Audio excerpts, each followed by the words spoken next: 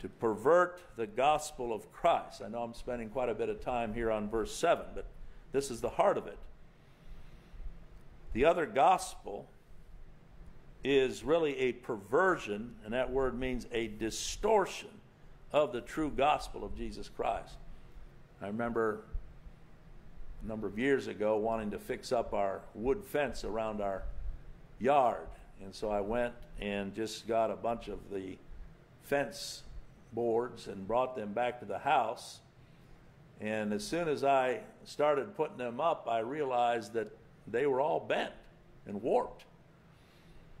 I've seen others that are probably better at doing that than me when they go to buy them at the store. They're eyeballing it, they're picking it up and kind of looking down and making sure that everything's straight.